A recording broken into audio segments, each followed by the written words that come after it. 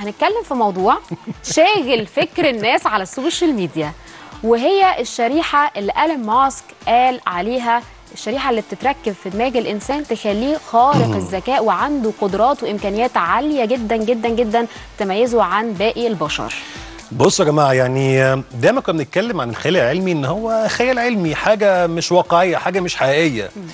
دايما بنفترض حاجات ممكن ما تحصلش على أرض الواقع.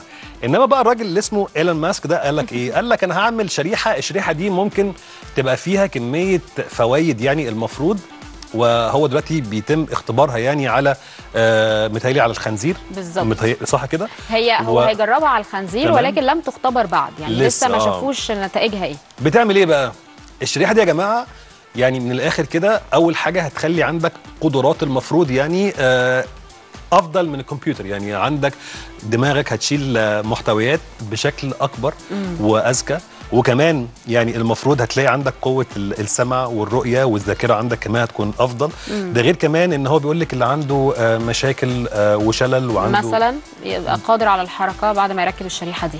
يا جماعة الموضوع بجد هو فكرة. يمكن الموضوع آه لسه تحت الاختبار وكل حاجة إنما البني آدمين بيفكروا في حتت بعيده قوي. يعني إزاي ممكن إحنا نركب شريحة؟ الشريحة دي ممكن تغير مجرى حياة كل واحد بشكل مختلف. طب وهتخلي كل واحد ممكن ينتج بشكل أكبر وأعلى بكتير طبعا. بس الموضوع غريب برضه أوي. طبعا لأنه أنت كل يوم التكنولوجيا بتخوف وبيبقى في مرعبة. مرعبة الإنسان بيكتشف وبيخترع حاجات عمرنا ما كنا نتخيلها. يعني من عشر سنين ما كناش نتخيل مثلا إنه هيبقى معانا ال smart phones وال technology واصلة للحد ده. وأي حاجة أنت عايزها قبل ما تكتبها هتطلع لك على فيسبوك أو على إنستجرام لأنه مجرد إن هو بيحس بيك أو بيقرأ أفكارك.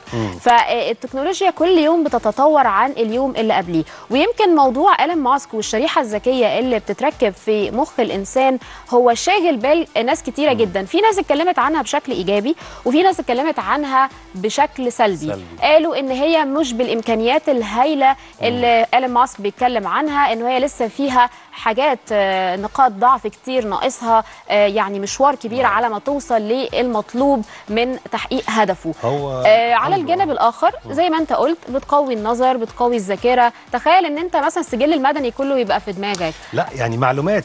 أو بالظبط حاجات في مجال شغلك يا مثلا جماعة عارفين فيلم آه، بجد والله الفيلم الليمبي 8 جيجا؟